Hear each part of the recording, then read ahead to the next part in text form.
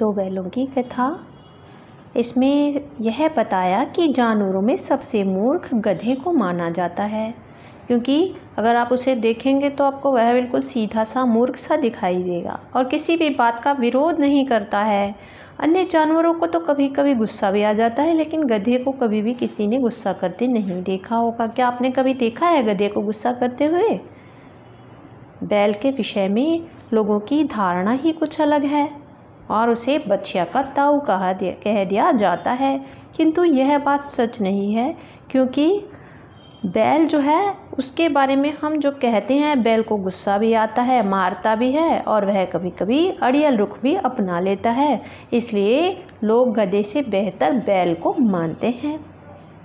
बैल की कहानी है, आज की हमारी यह कहानी दो बैलों की कथा।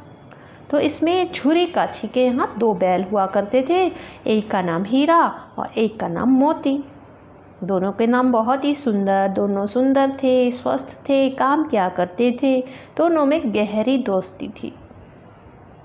आपके भी दोस्त होंगे ना, वैसे ही बैलों में भी दोस्ती हुआ करती थी। दोनों साथ साथ रहते और साथ साथ काम किया करते थे। एक बार क्या हुआ कि दोनों बैल अपने साले को दे दिए झुरी ने। झुरी का जो साला था, उसे बैलों को दे दिया और बैलों को लगा कि उन्हें बेच दिया गया है। इसीलिए वह जाने में विरोध करने लगे, यानी गया के साथ जाने में उन्हें बड़ा बुरा लगा। और इस तरह से गया को काफ़ी मेहनत करनी पड़ी उन्हें ले जाने के लिए। जब वह घर पहुँचा तो घास को उन्होंने मुँह तक नहीं लगाया। दोनों आपस में मूक भाषा में बात कर रहे थे। मूक भाषा क्या होती है? आँखों ही आँखों में जो बातें करते थे, वह मूक भाषा थी और रस्सियाँ तुड़वा करके भाग चले घर की ओर। सुबह देखा झुरी ने तो दोनों वापस घास खा रहे हैं उसकी नाद के पास ही। और झुरी ने दोनों को गले से लगा लिया। गाँव वाले भी आश्चर्यजनक स्थिति को देख करके काफ़ी अचंभित हो गए। और पत्नी ने झुरी की पत्नी जो थी, उसे थोड़ी जलन सी होने लगी और वह दोनों बैलों को भला बुरा कहने लगी। अगले दिन पत्नी ने मज़दूर को कहा कि इनको सूखा सूखा भूसा देना गुस्से में और मज़दूर ने वैसा ही किया तो दोनों बैलों ने फिर कुछ नहीं खाया। दूसरे दिन फिर से साला आया और अब की बार मोटी तगड़ी रस्सियों में बाँध करके उन्हें ले गया। और उन्हें सूखा भूसा दिया और खुद के बैलों को अच्छा अच्छा खाना दिया। अगले दिन दोनों को लगा दिया गया भाई काम पर। चलो लगे काम पर, लेकिन मार खाने पर भी दोनों ने पैर नहीं उठाए और उन्होंने कसम खा ली कि भी काम नहीं करेंगे। अधिक मार खाने पर दोनों फिर से दौड़े और अभी मोती को बड़ा गुस्सा आ गया, लेकिन हीरा ने समझाया तो मोती थोड़ा शांत हुआ। गया ने दूसरे लोगों की सहायता से उन्हें फिर से पकड़ा और रस्सियों में बांधा और फिर से सूखा चारा डाल दिया। इस तरह दोनों पूरे दिन काम करते, मार खाते और सूखा सूखा भूसा खाते। यह देख करके गया कि जो लड़की थी, बेटी थी, उसको बड़ी दया आई और उसने शोर मचा दिया कि बैल भाग गए हैं।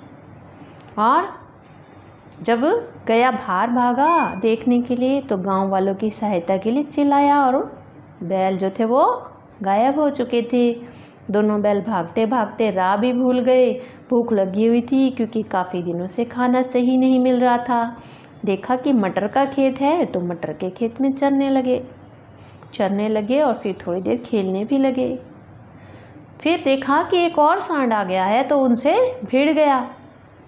दोनों ने बड़ी मतलब कोशिश करके उससे अपना पीछा छुड़वाया। दोनों ने बड़ी हिम्मत से उस सांड पर विजय प्राप्त की और सांड मार खा करके गिर गया। ऐसी लड़ाई लड़ने के बाद उसे फिर से भूख लग गई दोनों को।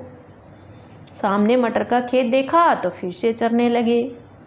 ऐसा देख कर के खेत का जो मालिक था उसने उन्हें कांजी हंस में बंद कर दिया। रखवाला जो था उसने कांजी हंस में उन्हें बंद कर दिया।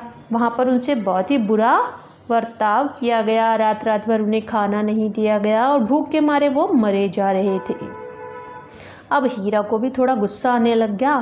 फिर मोती ने उसे समझाया, लेकिन वह नहीं माना और कच्ची दीवार को उसने तोड़ना शुरू कर दिया। इतने में चौकीदार लालटेन लेकर के पशुओं को गिनने के लिए आ गया और हीरा को इस तरह से जब उसने देखा कि दीवार को वह तोड़ रहा है तो उसने उसे रस्सी से बांधा और तेज दनादन मारना शुरू कर दिया। बहुत बार उसको डंडों से मारा।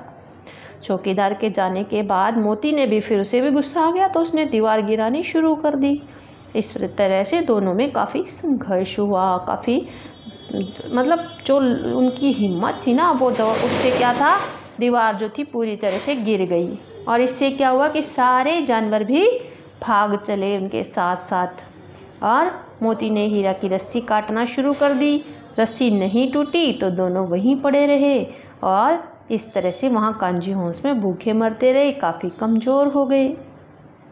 फिर एक दिन ऐसा आया कि दोनों को एक दड़ियल के हाथों नीलाम कर दिया गया।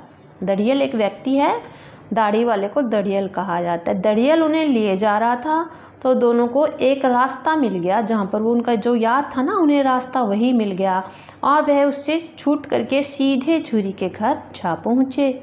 झूरी धूप सेक रहा था और बैल को आता देखकर उन्हें गले लगा लिया। झूरी अब दड़ियल से दोनों में झगड़ा हो गया क्योंकि दड़ियल ने बैल खरीदे थे। किंतु बैलों को फिर से वही स्नेह मिला।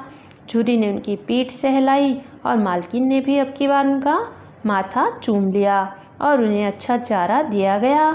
अब दोनों को अच्छा अनुभव हो रहा था। कहानी से शिक्षा क्या मिलती है कि मुसीबत के समय कभी भी घबराना नहीं चाहिए और गलत बात का विरोध करना चाहिए।